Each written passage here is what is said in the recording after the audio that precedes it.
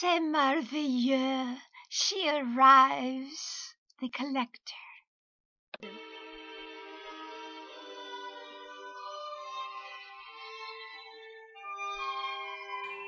I'm here at Rita's Art Salon.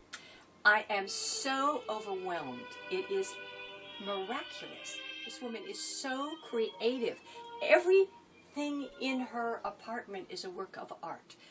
The art is exquisite. It is so magnificently feminine.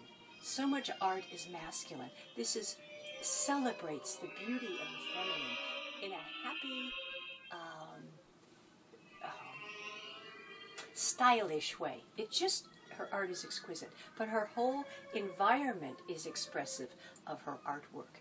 Even you know the fabric standing behind me, the paintings, the way things are arranged. We had a luncheon, a little s- snack here, and even the plates are gorgeous.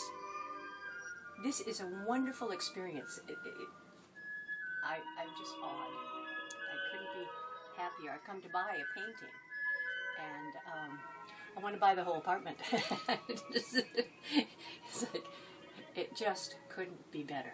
This is remarkable.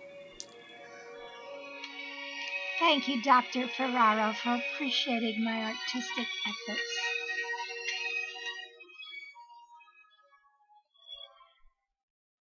Hope you subscribe or like me on Facebook.